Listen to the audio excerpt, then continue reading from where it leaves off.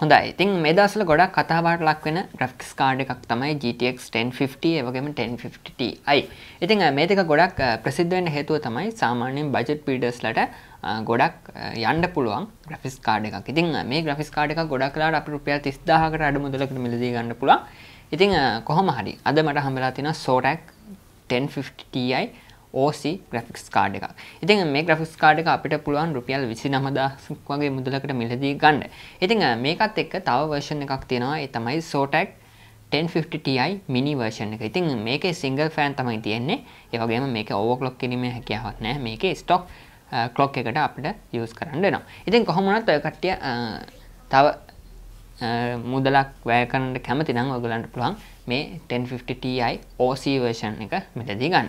ඉතින් මේ OC version එකේ තියෙන විශේෂත්වය තමයි මේකේ dual fans. ඒ කියන්නේ සාමාන්‍යයෙන් තනි ෆෑන් එකකට වඩා ටිකක් ලුක් එකක් තියෙනවා මේ කාඩ් එකේ. ඒ වගේම අපිට මීට වඩා ඕවර්ක්ලොක් කිරීමේ හැකියාවක් තියෙනවා මේ කූලින් සිස්ටම් එක හින්දා. ඉතින් මේක අපිට පුළුවන් Zotac Firestorm software එක use කරලා අපිට අවශ්‍ය විදිහට මේ කාඩ් එක ඕවර්ක්ලොක් කරගන්න. මේ සෝටක් ප්‍රඩක්ස් ලංකාවට ගෙනලා බෙදා හරින්නේ ඒගලෝබ් සලූෂන්ස් ඉතින් මේක තියෙන කොල්ලු පිටිය ඔයගලන්ට පුළුවන් ඒගලෝබ් එකට ගියොත් මේ සෝටක්ස් ප්‍රඩක්ස් දැක බලා ගන්න. හරි. ඉතින් අපි දැන් බලමු මේ සෝටක් කාඩ් එක කොහොම perform කරයිද කියලා. ඉතින් මේ සෝටක් GTX 1050 Ti 4GB OC version එක.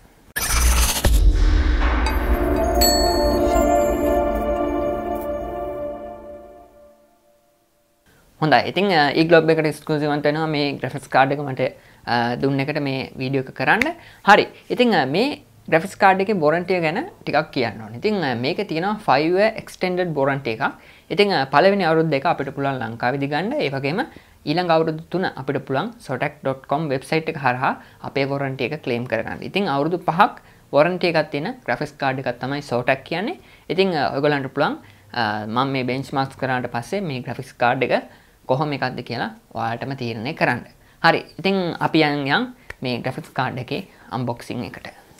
මේ විදිහට තමයි සෝටක් බොක්ස් එක තියෙන්නේ කහපාටට GTX 1050 Ti මෙතන සඳහන් වෙනවා OC එඩිෂන් එක. ඉතින් මේක අනිත් පැත්තේ මෙතන සිස්ටම් ස්පෙසිෆිකේෂන් ටික ගහලා තියෙනවා. ඉතින් ඔය විදිහට තමයි කාඩ් එක තියෙන්නේ.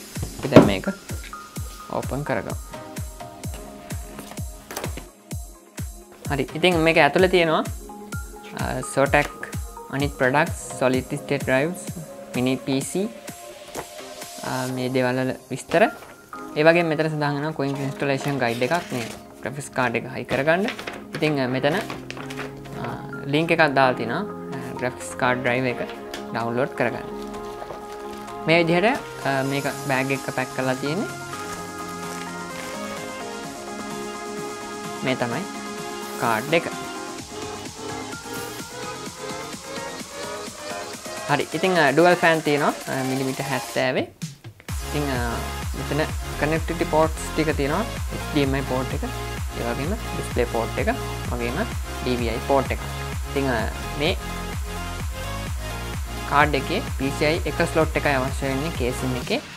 ඒවනට මේ ග්‍රෆිස් කාඩ් එකට ස්ලොට් දෙකක ස්පේස් එකක් ගන්නවා. මේ හිටසිං එකත් එක්ක.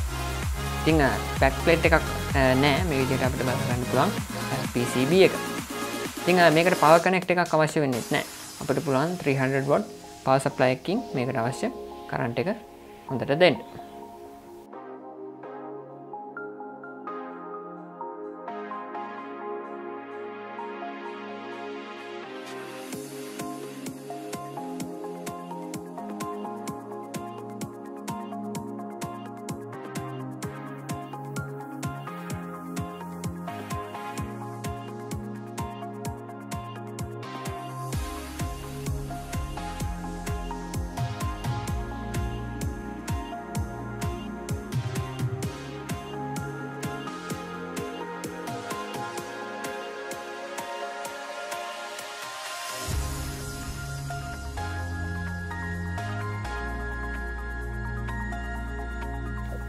හොඳ ඉතින් ඔන්න විදිහට තමයි මේ කාඩ් එකේ ප්‍රෆෝමන්ස් උනේ.